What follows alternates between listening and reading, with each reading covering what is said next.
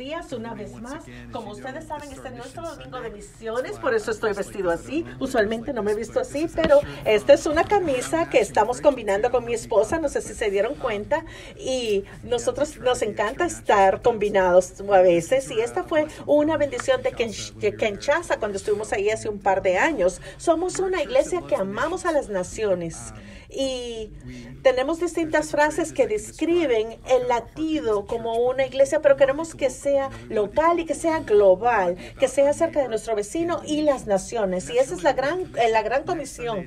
El día de Pentecostés es la próxima semana y ahí dice que vamos a recibir poder para Jerusalén, Judea, Samaria y los, fines, los confines de la tierra. Hemos sido llamados a servir a eso también. Y no sabemos si ustedes saben esto, pero somos la iglesia de las asambleas de Dios y somos parte de esa red. Eso no está en nuestro nombre, pero somos parte de ello. Y una de las cosas que las asambleas de Dios que ha hecho, que ha sido una tradición maravillosa, es hacer misiones y mandar a la gente a hacer trabajo de misioneros alrededor del mundo. Y es maravilloso ver eso. Y nuestros invitados especiales de hoy están sirviendo en Polonia. Ellos son increíbles. La palabra que nos traen esta mañana los va alentar Abran sus corazones, por favor. Muchísimas gracias, Earl y Tammy, por estar aquí hoy. Gracias por ir a Polonia.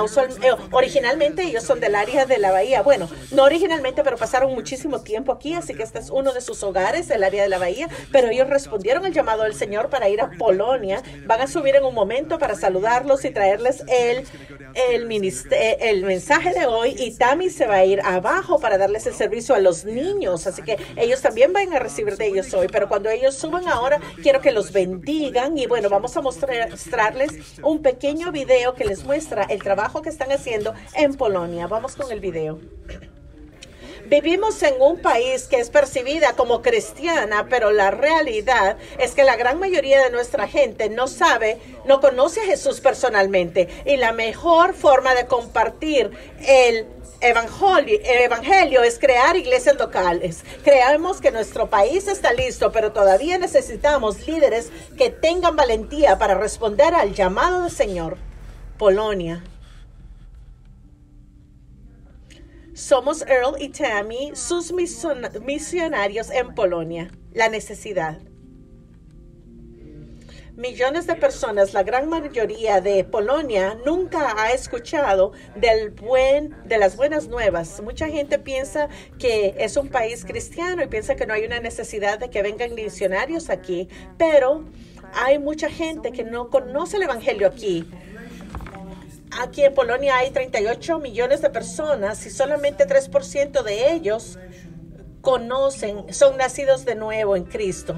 Dice nuestra respuesta a la necesidad. Nosotros estamos anticipando regresar a Polonia y continuar a trabajar con los hermanos pentecosteses para sembrar iglesias en las 700 ciudades de Polonia que no tienen iglesias. Eh, estamos muy emocionados de regresar a Polonia después de nuestro primer viaje allá para seguir sembrando iglesias allá. Hemos podido apoyar el sembrar iglesias a través de muchos entrenamientos de liderazgo, de ministerio y de voluntarios. Nosotros empezamos con un movimiento que se llama 600 vacas y nuestro nuestra meta es sembrar 700 iglesias. Ahora nosotros queremos que Polonia se salve y la única forma en que eso se va a hacer es a través de la siembra de nuevas iglesias y pastores como tú que dicen, "Sí, yo iré ahí."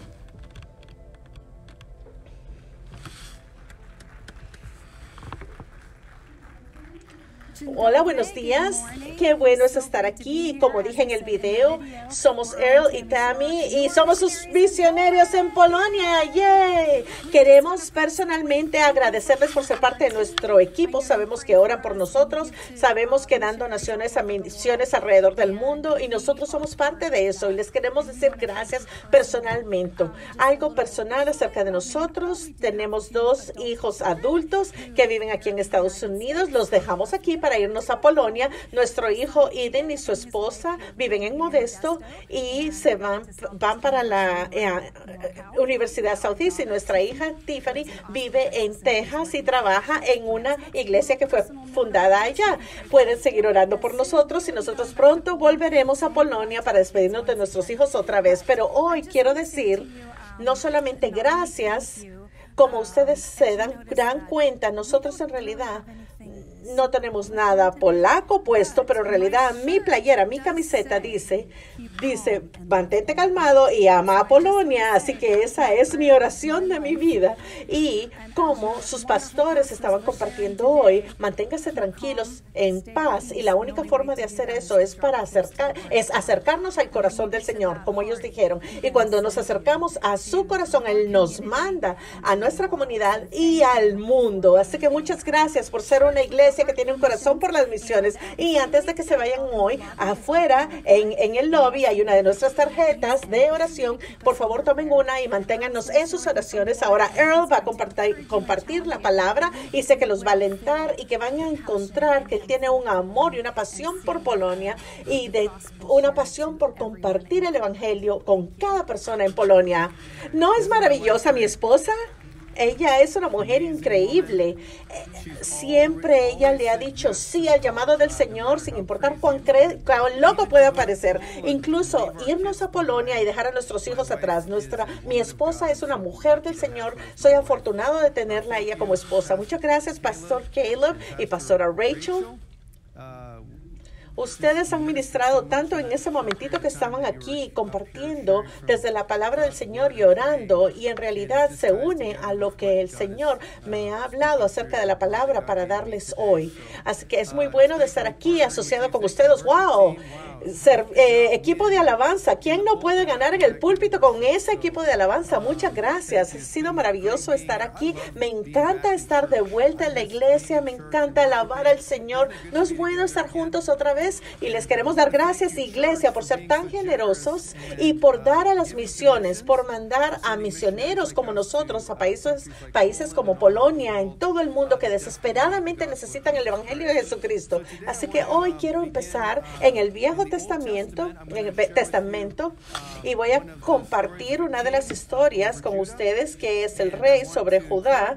Y les quiero decir hoy que el Señor los puede usar justo como los hizo. ¿Cuántos de ustedes están felices por eso? ¿No les parece bien? Justo como los hizo, los puede usar. Dejen de tratar de cambiar su personalidad. Les dio esa personalidad para usarla. Así es. ¿Eso no es maravilloso? La persona a la izquierda debe decir, ¿y este de qué está pensando? Pero, no, yo me río de mí mismo todo el tiempo. Me maravilla que el Señor pueda usar a alguien como yo, en realidad. Así que ustedes tendrían que conocer mi historia pasada para saber eso. Pero bueno, ahora quiero llegar a Segunda de Reyes, capítulo 22, y quiero hablar de un hombre joven que se convirtió en rey de Judá. ¿Sabían cuántos años tenía él cuando se hizo rey? Tenía ocho años ocho años.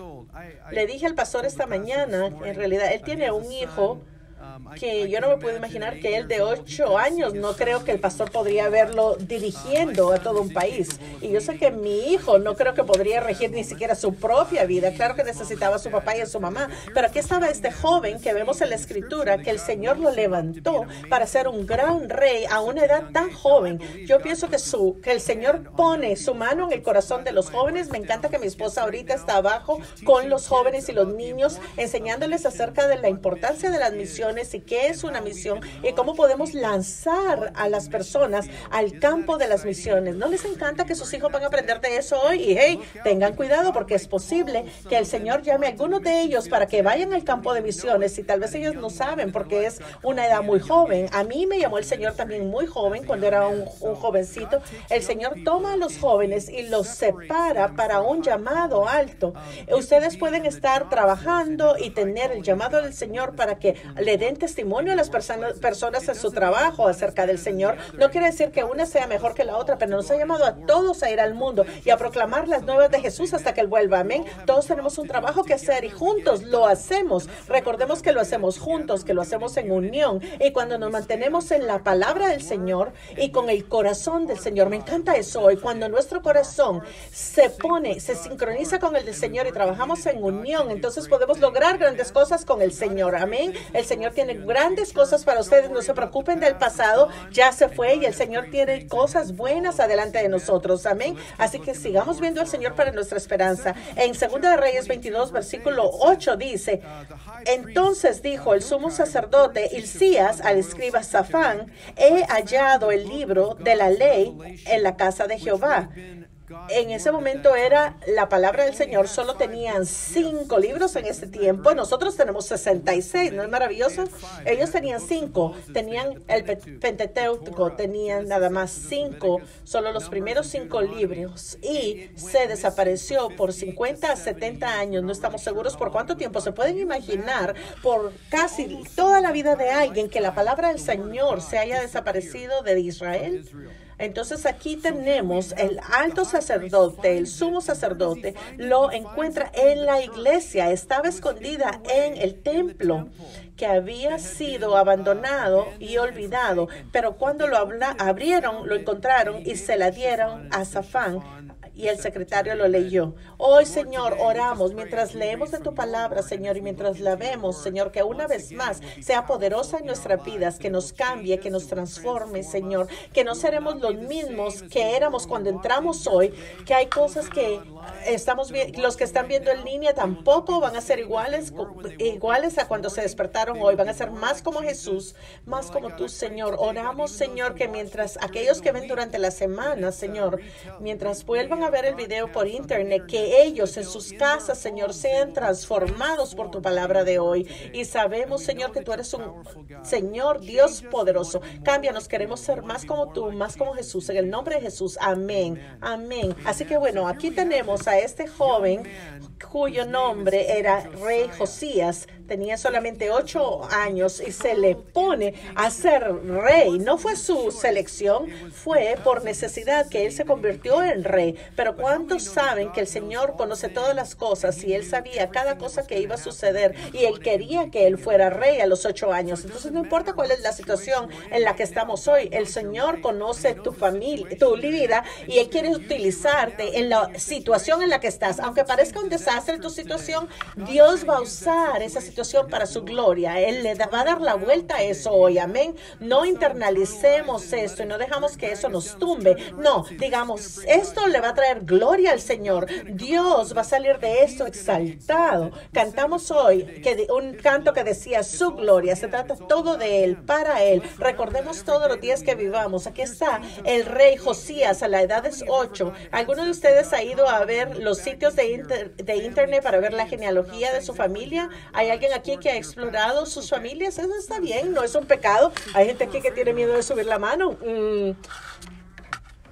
hay muchas personas que es algo muy popular ir a ancestry.com o algo así y encontrar acerca de su familia. Y quién sabe que cuando uno sacude el árbol familiar sale todo tipo de cosas buenas, cosas buenas, cosas malas, cosas que quisieras que nunca se hubieran enterado nadie, cosas que quisieras que no estuvieran en ese árbol genealógico. Y hay gente que está en tu árbol y dices, wow, yo no sabía eso. No hay a la hora de contárselo a alguien. O sea que es interesante para ver hacia atrás y descubrir nuestra historia. Pero ¿cuántos de ustedes saben que no es nuestra historia la que determina nuestro futuro. No es el pasado lo que determina el futuro. Jesús determina el futuro. Jesús puede transformar todo en un momento. Todo puede cambiar. Cuando tú le das tu vida a Jesús, dice que todo cambia. Las cosas viejas pasaron y las cosas nuevas se hacen nuevas. No me importa cuánto tiempo llevas de ser cristiano. Si las cosas se han puesto, se, se han estancado en tu fe, se han puesto viejas, si te desalentaste pasaste por el 2020 y aún no sales de ahí, si estás sufriendo de depresión, si estás sufriendo de pensamientos que te están atormentando, hoy puedes ser liberado en el nombre de Jesucristo. Puedes salir de este lugar, hecho una nueva creación, creación una vez más, para que las cosas viejas pasen y lo demás se haga nuevo. No salgas de aquí hoy sin salir con esa promesa del Señor cumplida. No tienes salir, que salir igual que llegaste hoy. Vamos a orar por la victoria del pueblo hoy. Amén. Porque Dios trae esa victoria a través del nombre de Jesús. Así que bueno, vamos a ver el, árbol genealógico de el rey Josías. Tenía un tatarabuelo. ¿Alguien sabe quién era su tatara, tatarabuelo? Yo no sé quién era el mío. Yo quiero averiguar eso, pero bueno, aquí estaba su tatara, tatarabuelo. Ahaz, el rey Ahaz, era un rey malo. Ahora, su tatarabuelo era tan malo cuando era rey que clavó cerradas las puertas del templo, se llevó a Yahweh y trajo ídolos, idolatría, todo tipo de eh, adoración pagana. Así que aquí tenemos el tatarabuelo que era malvado y de ahí tenemos al, al tatarabuelo que era... Eh, yo no sé quién era mi abuelo, pero mi, tatarabuelo me gustaría saber, pero su tatarabuelo abuelo era un buen rey. ¿A quienes les gustan los, los líderes? Aquí tenemos buenos líderes en la alabanza, aquí los voluntarios en sus grupos pequeños. Hay líderes en toda esta iglesia, grandes líderes. Es una iglesia fuerte con un futuro fuerte porque tenemos buen liderazgo. No queremos un liderazgo malvado. Entonces el, el rey Hazaquías, ¿qué fue lo que hizo? Que tomó la manera en que el Padre hacía las cosas y las abandonó. Abrió otra vez el templo, sacó los clavos de las puertas, sacó todos los ídolos y trae a Yahweh para adorarlo a Él una vez más en Israel. Necesitamos ese tipo de liderazgo otra vez aquí en el mundo hoy. Amén. Tenemos que traer la alabanza de Jesucristo ante, ante las vidas de las personas. Así que ahí teníamos un gran rey y entonces de ahí teníamos el hijo del rey Jesaquías y ese era el, el rey Menaces y él era un, rey malo. Ven como el pasado no indica necesariamente lo que sigue, pues teníamos un gran rey, pero su hijo er, fue un rey malvado. Él hizo todo lo opuesto de lo que hizo su padre y trajo de vuelta toda la idolatría a lo que no era el Señor, a los ídolos. Y entonces él era una persona tan malvada que sacrificó uno de sus hijos bebés ante uno de los dioses que él servía. Él mataba sin ninguna razón a la gente de su propia que él estaba liderando, los mataba por todas partes. Así que tenemos este rey malvado, terrible, que era tan malo que Babilonia, se, Babilonia se apodera de Israel y se le manda a la cárcel. Pero él, lo único bueno que hizo es que cuando estaba en la cárcel se arrepintió de lo que había hecho. Lo único que podemos ver bueno que trae redención fue su arrepentimiento en la, en la prisión. Pero él nunca trajo de vuelta la adoración a Yahweh, pero su hijo, quien fue, ahora teníamos el, el, el rey de ocho años, que fue también fatal. Tenemos uno malvado, otro malvado, otro malvado, pero de ahí decía que entonces Josías sí fue un hombre del Señor y que tenía un corazón para el Señor. Tú no tienes que tomar a tu historia y decir al futuro, oh, ese es quien voy a ser, porque el Señor cambia todo, Dios cambia todo. Una de las razones que los teólogos piensan que el rey Josías dice que el sirviente del papá del rey Josías mató a ese hombre y a él, a Josías se le lanzó a ser rey de una edad mucho más joven de lo que se espera, pero era porque su padre que, era tan malo que su propio sirviente lo mató. Ahora tenemos este rey de ocho años. ¡Wow! Dios puede usar a la gente joven.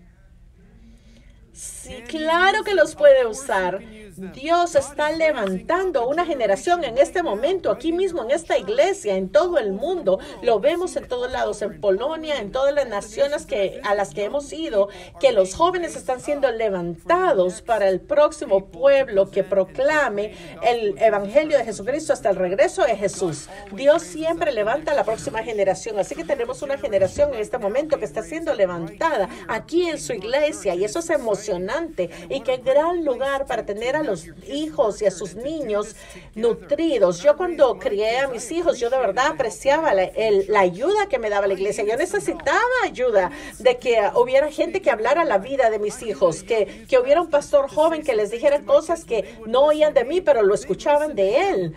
Ellos tenían oídos y decían, wow, tuve una revelación divina. Y yo decía, wow, qué impresionante. Wow, yo solo te lo estaba diciendo desde que naciste. Claro, yo no les decía eso, yo solo les decía, qué bueno, esa es una revelación divina. Y necesitamos esto juntos, celebrar, hacer esto juntos, levantar a nuestras familias juntos. Y eso es la manera en que Dios lo hace. Así que aquí tenemos este joven rey y en segunda de Crónicas 34, 2 podemos leer qué tipo de rey joven era porque dice, a los ocho años de su reinado, siendo aún muchacho, comenzó a buscar al Dios de David, su padre, y a los doce años comenzó a limpiar a Judá y a Jerusalén de los lugares altos, imágenes de acera, esculturas e imágenes fundidas. ¿A cuántos que ven aquí en esta iglesia están ya aquí y el Señor no va a permitir que ellos no dejen de servirlo? Hay, hay una protección a su alrededor, que ellos no van a ser tragados por este mundo, ellos van a tener ese testimonio que queremos el testimonio que todo el mundo quiero. Me criaron en la iglesia, acepté a Jesús cuando era joven, nunca me fui a otro lado, nunca tomé, nunca tomé drogas, nunca hice todas estas cosas, sino que fui directo en el trabajo del Señor, ya fuera voluntariando o trabajando. Voy a servir a Jesús toda mi vida y cuando muera, Jesús me va a llevar a casa y voy a estar con Jesús un día. Y ese es el testimonio que queremos escuchar de nuestra gente joven. Amén. Amén. A mí no me importan los otros testimonios, claro que no. Hey, es maravilloso que el Señor libera a las personas de eso, pero yo preferiría que nadie pase por eso. Yo quiero que se salven jóvenes y se queden así, así como el rey Josías. Nunca se dio la vuelta de hacer lo que era correcto. Pensamos que era porque su mamá, él nunca tuvo la palabra del Señor, nunca nadie le leyó la Biblia, pero su mamá contaba historias del rey David porque decía que él siguió los pasos de su ancestro, el rey David, y dice que cuando tenía 16, cuando vemos en el 3, vemos que él tenía 16 años, dice. Y dice que todavía era un hombre joven y empezó a buscar el Dios de su padre David. Y cuando tenía 20 años, él empezó a sacar de Judá todos los ídolos, las esculturas, empezaron a limpiar la casa. ¿Quién, ¿Quién quiere que nuestros jóvenes empiecen a limpiar la casa, que nos ayuden para mantenernos en el camino del Señor? Amén. Vamos a celebrar. Bueno, estoy seguro que en el grupo de jóvenes hay oportunidades de liderar, de empezar a aprender, de cómo compartir la verdad de la palabra del Señor y así es como sucede. Así que aquí tenemos a este hombre joven. Él iba a limpiar todo lo que era de idolatría. Y empezamos a ver algunas de las palabras que se, se dicen. Dice, él destruyó todos los altares a Baal. Él sacó las imágenes. Él, él derrumbó, quebró, rompió. Wow, me encanta. Él destruyó. Ah, me encanta eso. ¿Quién de ustedes? ¿Quién? ¿Quién? ¿Quién destruye? Ajá, como el Hulk, ¿verdad? El, el hombre verde, él destruye. Y esto es lo que hizo él. Dice que él cortó, que él pulverizó todo lo que era de los ídolos. Saben que el rey Hazaquías, su tatara, tatarabuelo, tomó la serpiente que era un memorial histórico acerca de Israel cuando estuvo en el desierto, que pusieron la serpiente de bronce para sanidad. Eso era lo que nos contaba acerca de la muerte que venía de Jesús. Eso debió haber estado en un edificio de historia para acordarnos de qué había hecho Yahweh, pero él lo pulverizó porque Israel no dejaba de alabar esa serpiente. Dios nunca dijo que alabáramos nada más que a Él.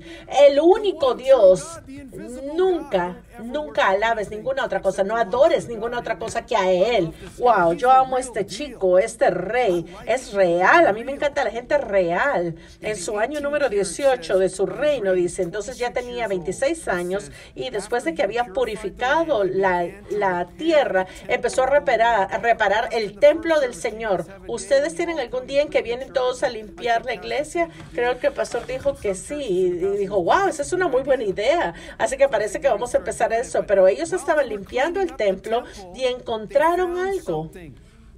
Encontraron el Pentateuco.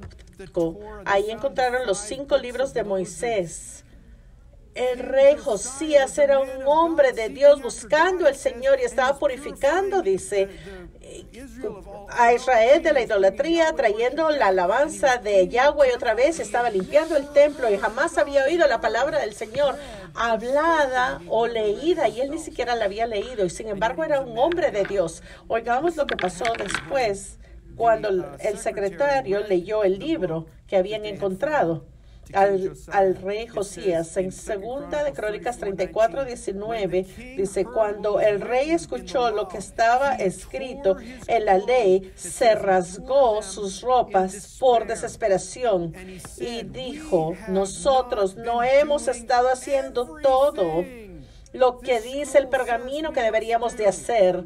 Oh, tener gente hoy que lean la palabra del Señor y que se rasguen su ropa, que se arrepientan, que digan, yo no sabía que estaba haciendo esto mal. Señor, que yo tengo que cambiar esto. Quiero ser más como tú, Jesús. Quiero que ser más como tú, Señor, porque todavía no lo estoy haciendo todo. Y hay gente que puede decir, oh, está siendo legalista. Yo no estoy diciendo eso. Yo digo que amemos la palabra del Señor. Esto es como vivimos. Esto es nuestro libro. De Génesis hasta Apocalipsis. Yo creo cada palabra que está aquí, cada palabra que está en él es la palabra del Señor y tengo que eh, seguirlo de una forma apasionada. Eso lo necesitamos hacer ahora. ¿Quién quiere que nuestros jóvenes hagan eso, que se sientan de esa forma? Amén, está sucediendo. Eh, ahora sí, tenemos al rey Josías y dice, tenemos que reparar el templo. Trae entonces para Israel la forma en que están pasando en Segunda de Reyes. Vamos a ver, Segunda de Reyes 31, 41, parece. Dice que nunca en el mundo hubo un rey como Josías que se dio la vuelta a su corazón ante el Señor, se lo entregó siguiendo todas las leyes de Moisés y nunca hubo un rey como él desde entonces. Wow, eso debe ser revelación divina para ustedes. No fue el rey David, el, el, mejor rey de Israel, fue el rey Josías, hasta su abuelo. El rey Hazaquías no fue el más grande. Dios dijo que él fue el más grande. Un niño de ocho años cuando empezó. El Señor, Dios, puede hacer cosas grandes a través de cosas pequeñas. Él puede hacer cosas grandes a través de los jóvenes. Amén. Oremos por nuestros jóvenes. Aleluya. El Señor va a darle la vuelta al mundo. Con esta palabra yo la creo de que ahora vamos a estar viendo el día de la salvación a través del mundo. Y este es el momento en que pienso y creo que Dios está cambiando el paradigma del mundo, la perspectiva del mundo para que el mundo sea salvo. Y también eh, Apocalipsis dice que va a haber un momento en que van a pasar a través de la iglesia. Y se trata acerca de la cosecha, la última vez que va a pasar esta herramienta. Y entonces regresará Jesús porque todos van a haber escuchado y todos van a haber tenido una oportunidad de recibirlo como su Señor y Salvador. Estemos listos a ser para el movimiento del Señor que está a punto de darse en nuestro planeta. Es hora de ponernos de pie, gozarnos y decir, Señor, me voy a olvidar del pasado, yo voy a ver hacia el cielo y sé, Jesús, que tú estás ahí, que tienes algo grande para nosotros hoy. Amén. Así que bueno, aquí tenemos este mensaje acerca del rey Josías, pero bueno, todavía no has hablado de Polonia, ¿por qué no? Ya, ya les voy a hablar de eso, pero hoy los quiero el rey Josías, cuando él murió, vino juicio sobre Israel por la idolatría, pero mientras tuvieron un buen líder, tuvieron bendición. Ese pueblo tuvo bendición. Entonces nosotros queremos ser bendecidos. Eh, vino el juicio hacia ellos por su idolatría, pero cuatro años después de que se murió el rey Josías, pero ya Dios estaba levantando a la próxima generación de líderes, Daniel, Shadrach, Meshach y Abednego. Cuatro años más tarde, el Señor sigue levantando. Él no va a abandonar a su pueblo. Él ama al mundo. Jesús dijo que yo no quiero que nadie se pierda, sino que todos tengan vida eterna. Les recuerdo hoy, esos que los molestan, esa gente con la que no les gusta estar, esas personas que cuando lo ven ustedes se dan de la vuelta. Y Jesús dice, empieza a amarlos porque yo los amo. Y yo no me hubiera muerto en la cruz si no quisiera que ellos fueran salvos. No quiero que nadie, no estoy dispuesto a que nadie se pierda, dice Jesús, sino que todos sean salvos. Y, ya saben que yo me voy al lado de Jesús en su opinión. Él dijo, yo no estoy dispuesto a que ninguno se pierda, sino de que todos tengan vida eterna. Pensemos un poco más grande de lo que lo hacemos ahora. Amén. Dios está haciendo grandes cosas y va a hacer más cosas más grandes. Así que aquí tienen este aliento para hoy. Y quiero unirlo a Polonia. ¿Por qué hablaría de esto? Bueno, porque en Polonia la Iglesia Nacional le dice al, al, pueblo que no lean la Biblia. Así que la gente en Polonia no lee la Biblia. Van a la iglesia y los ministros le dicen qué es lo que dice la Biblia. Le dicen a Polonia, tú no estás equipado para poder entender esto y lo vas a arruinar vas a arruinarlo. Así que ven con nosotros y nosotros te vamos a decir qué es lo que significa, dicen allá. Pero mi director, mi director de siembra de iglesias fue a la iglesia hasta que tenía 19 años y dice que toda su vida que él veía la cruz y que él veía al hombre en la cruz y él siempre decía, ¿qué hizo ese hombre para morir de una manera tan horrible? 19 años estuvo en la iglesia y nunca jamás nadie le dijo lo que ese hombre había hecho en la cruz. Y yo he vivido en Polonia, pastor tras pastor tras pastor, me dice lo mismo. Mis pastores pentecosteses me dicen que encontraron una Biblia. Cada uno de ellos, así es como se salvaron 30, 20, 40, hace 30, 20, 40 años encontraron una Biblia, la empezaron a leer y llegaron a los evangelios y descubrieron por fin qué es lo que ese hombre en la cruz había hecho. Y entonces se pusieron de rodillas y se arrepintieron y se volvieron cristianos. Y entonces el Señor los hizo pastores de lugares donde se predica el evangelio en Polonia. Y la razón que hay gente que se ha salvado ahí es por la palabra del Señor. ¿Quién cree que el Señor quiere la palabra de Dios en, las manos del pueblo polaco. Amén. Les tengo buenas noticias. Nuestra Biblia de estudio Pentecostés está ya casi completamente traducida a polaco y ya casi está lista para ser puesta en las manos de nuestros pastores, de nuestros nuevos creyentes y todos los miembros de las congregaciones, porque eso es lo que sucede en Polonia. Hay gente que está en las, en las iglesias han estado ahí, aceptaron a Cristo hace 10, 20 años y dicen, yo leo la Biblia, pero yo no la entiendo.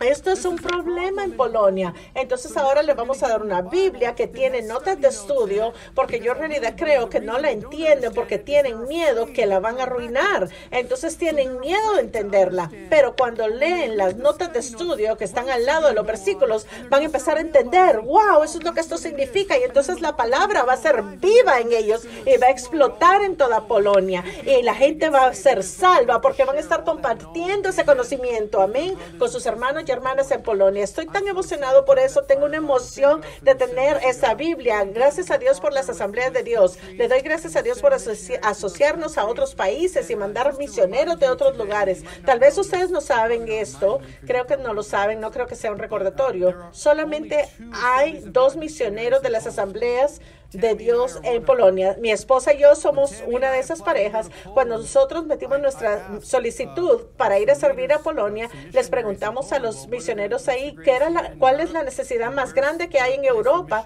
y dijeron Eslovaquia y Polonia eran los dos lugares. Pero la persona con la que yo estaba hablando dijeron, pero no vayas a Polonia porque nadie quiere ir a Polonia y yo estaba en un Starbucks, estaba haciendo FaceTime con esta persona y cuando yo escuché esas palabras de que nadie quiere ir a Polonia, empecé a, empezaron a brotar lágrimas de mis ojos. Me tuve que dar la vuelta y limpiarme con la servilleta que tenía ahí. Y Dios me puso a Polonia en el corazón y me dijo, ahí es a donde yo te quiero, porque nadie quiere ir ahí. 11 años habían transcurrido desde la última vez que alguien aplicó para ir a Polonia y ahora Tammy y yo llevamos cuatro años ahí, hemos regresado y entonces aplicó un misionero más para ir, pero no pudieron ir porque nadie quería apoyar. ¿Por qué? Polonia necesita un misionero, porque cuando yo me fui a Polonia dice que el 94% de Polonia son cristianos. Es una mentira. Polonia no ha sido alcanzado. Saben que Polonia se puede alcanzar como un país que nunca ha sido alcanzado. Nunca han tenido una verdadera representación del Evangelio de Jesucristo por toda más de mil años que han existido. Esto es un pecado. Yo me he arrepentido porque yo nunca pensé en Polonia hasta que alguien me dijo nadie quiere ir ahí. Jamás pensé sobre Polonia, nunca. Me he arrepentido muchas veces porque ahora he estado ahí, veo la necesidad y ahora yo tengo que dar cuentas y tengo que pasar el resto de mi vida asegurándome de que esas iglesias que están siendo plantadas, que sigan siendo plantadas en todas las ciudades. De aquí en Estados Unidos vamos a unirnos a Polonia, vamos a ayudarlos. Solamente tienen 20 mil cristianos en toda Polonia. En, en, en, es el, el, lugar más evangélico del mundo solamente tiene 38 millones de personas y solamente unos cuantos miles son los miembros. ¿Cómo puede ser que hemos dejado permitir esto? Es un pecado. 700 ciudades sin evangelio, 700 sin evangelio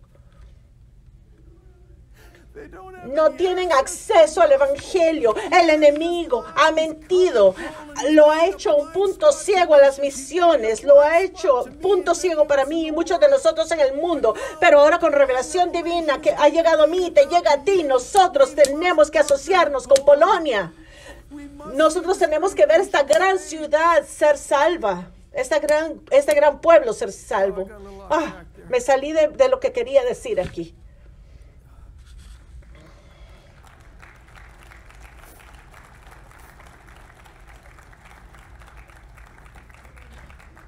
Yo amo este país tanto.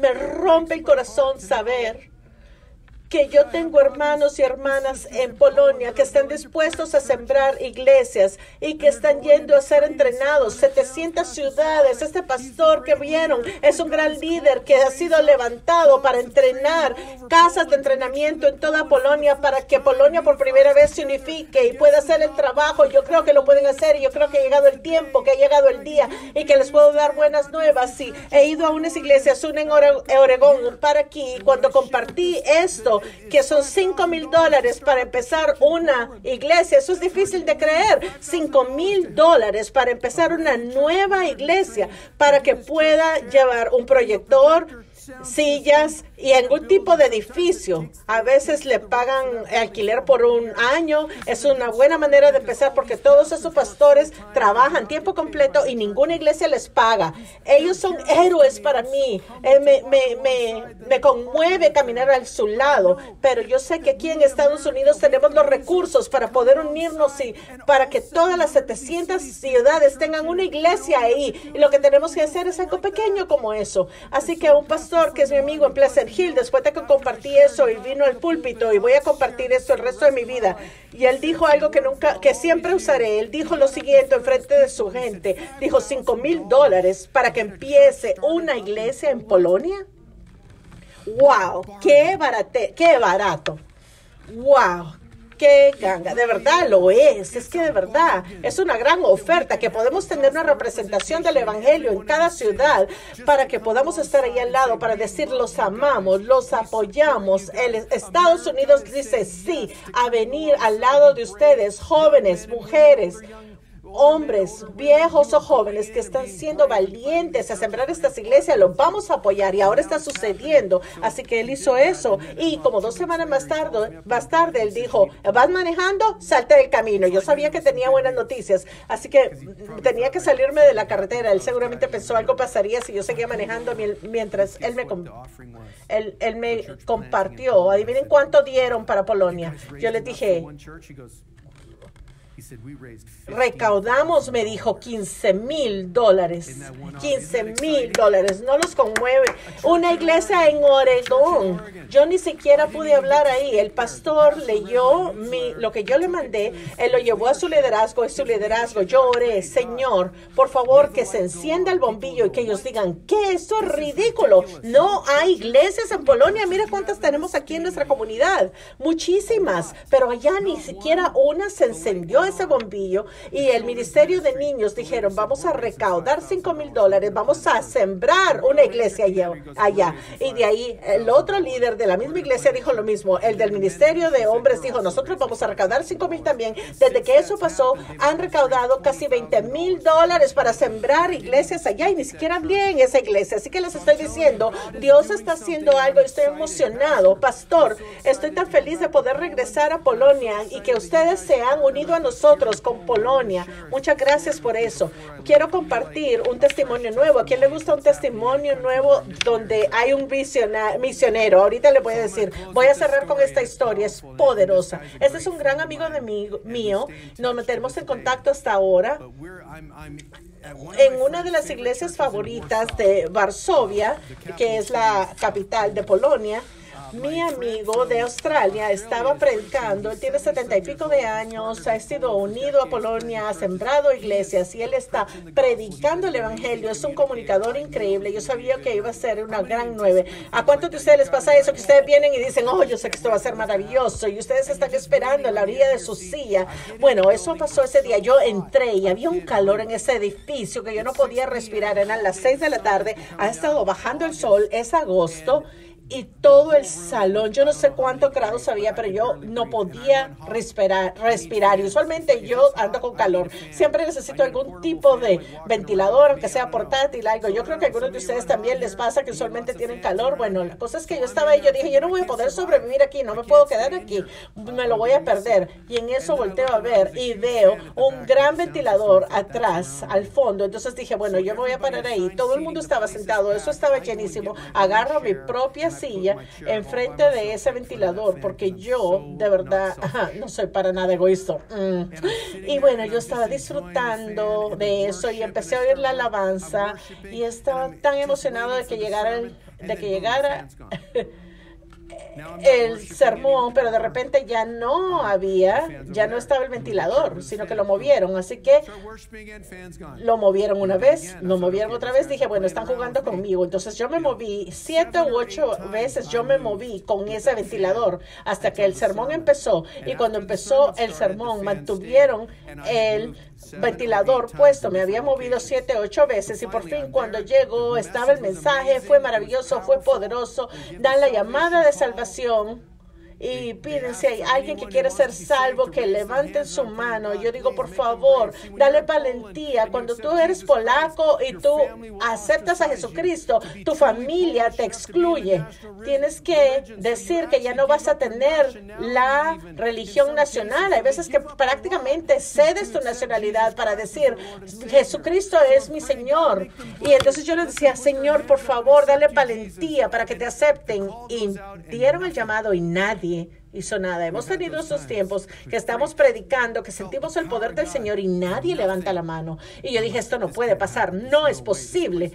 Nunca en la vida ha habido tanta gente dentro de esta iglesia. Era una iglesia recién sembrada y yo oré como un buen evangelio. Y otra vez alguien dice, y empiezo a ver, por favor, Señor, que alguien le entregue su vida a Cristo hoy. Entonces lo dijeron, el, el, que estaba predicando lo ofrece una tercera vez y por fin sube una mano. Y hoy les quiero decir que Dios los usa a ustedes justo como las crea, los ha creado. Deja de criticar lo que Dios creó. Deja de verte en el espejo.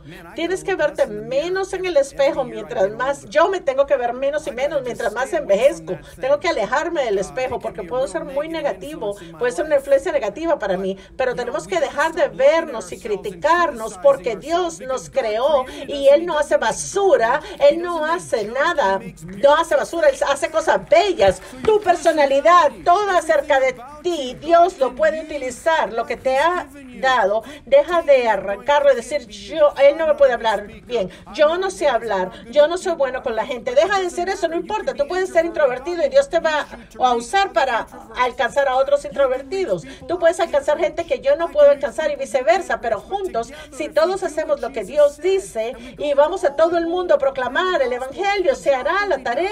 Así que no subestimes lo que Dios ha hecho en ti porque estás perdiendo oportunidades porque crees que no lo puedes hacer. Toma las oportunidades y mira lo que Dios puede hacer. Así que aquí estoy yo. Yo estaba en esa historia sudando, me había mudado, eh, cambiado del, del escenario siete, ocho veces. Y la persona que subió su mano, adivinen dónde estaban yo pude haber tocado su mano ese día.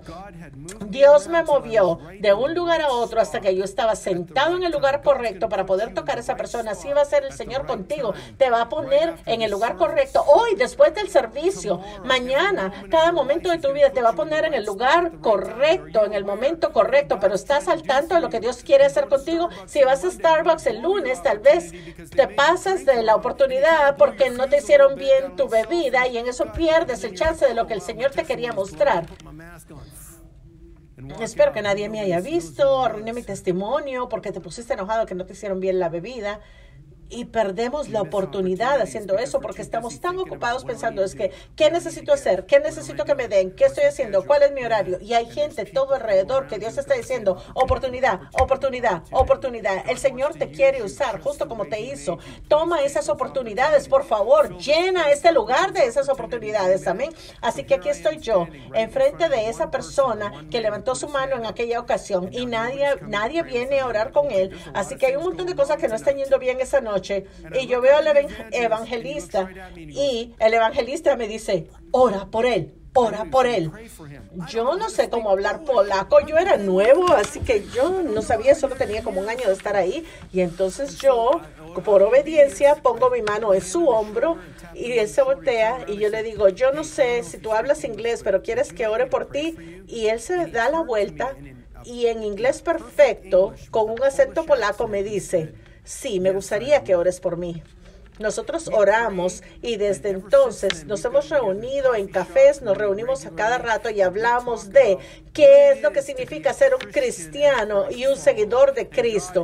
Y el Señor en cada momento lo lleva a él más y más y más cerca de entenderlo. En Polonia no pasa tan fácil ni tan rápido como pasa aquí en Estados Unidos. Tal vez está siendo más lento aquí también, pero en realidad es un proceso para que una persona diga sí. Hay muchas cosas que tienes que sacar de su mente y ponerlos en el camino correcto, pero hoy yo los quiero alentar de que Dios los va a usar, no solamente para mandar a, a, a mí y a mi esposa Polonia, sino aquí, aquí mismo lo va a usar. La manera que te hizo, la manera que te creó. Y les quiero recordar, cuando cierre, tal vez ustedes van a decir, yo nunca he traído a nadie al reino de Dios.